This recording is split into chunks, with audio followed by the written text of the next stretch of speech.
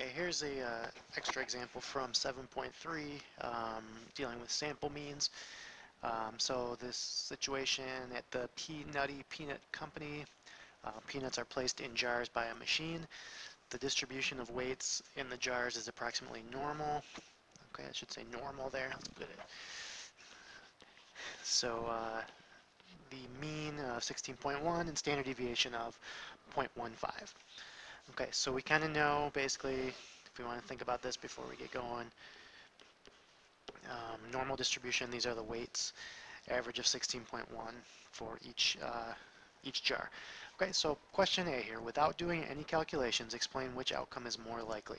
So would it be more likely to randomly select a single jar and finding the weight is less than 16 ounces, or randomly selecting 10 jars and finding that their average weight Okay, there's a sample mean is less than 16 ounces. Okay, so this one again, they want you to kind of be able to explain it without doing any calculations. So the issue here is that it is more likely to vary. There's more variability in a single jar than there would be in 10 jars.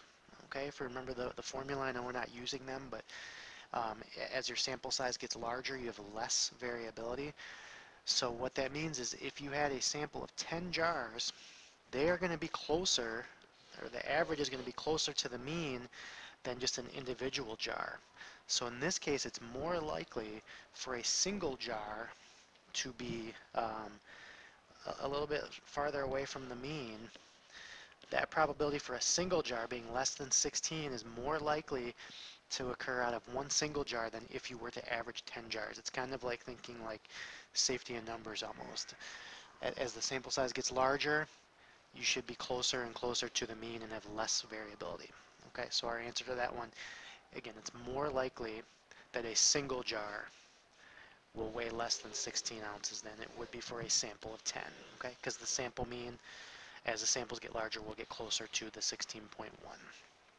Okay, now let's actually do some work here. There is a part B find the probability of each event. Okay, so let's do the probability that a single jar uh, um, is less than 16 ounces.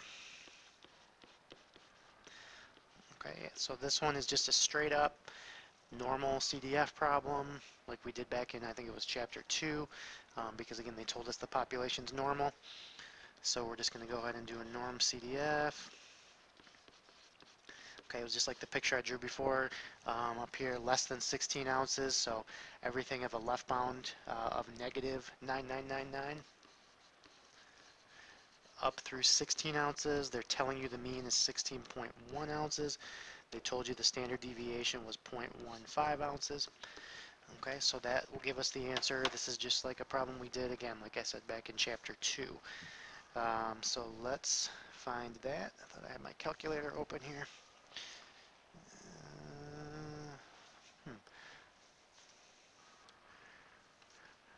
Okay, so let's do the calculation here. Again, it's a normal distribution, so second distribution, um, normal CDF.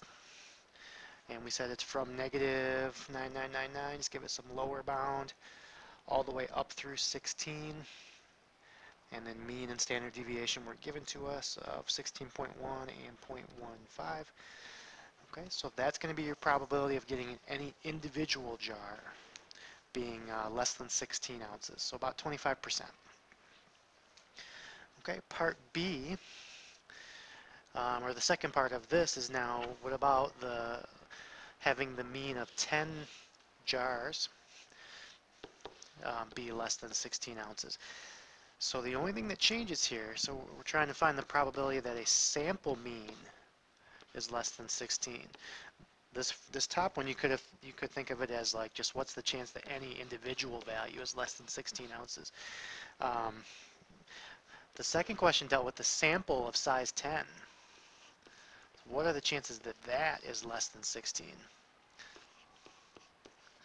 Okay, so the only thing that's going to change here is the standard deviation.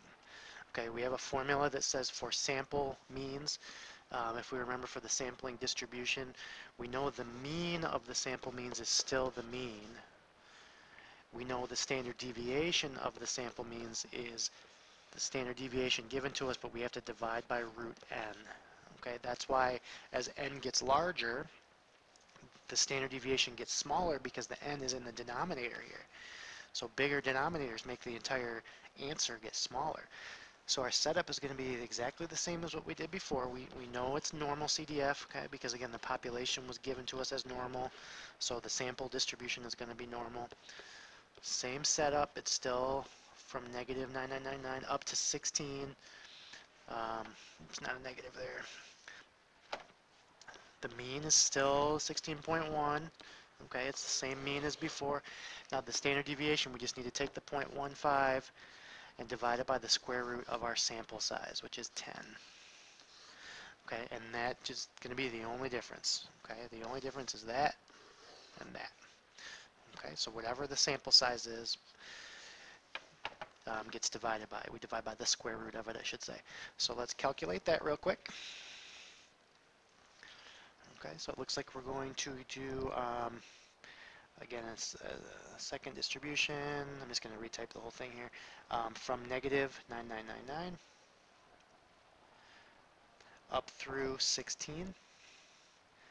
The mean, again, is still 16.1 and we're just going to take our original standard deviation divided by the square root of the sample size. Okay, so that goes in there as the last thing, and that's going to give us an answer of only about 0.017. So it's a much smaller percentage than we got, okay, because this was the single jar being less than 16 ounces. The chance that the average of 10 of them much less likely because again there's a lot less variation so everything's going to be closer to the sample mean okay so that kind of verified our answer for part A and we can see the process is very much the same just uh, make sure we watch the standard deviation. Oops that's the wrong thing. We don't want to see that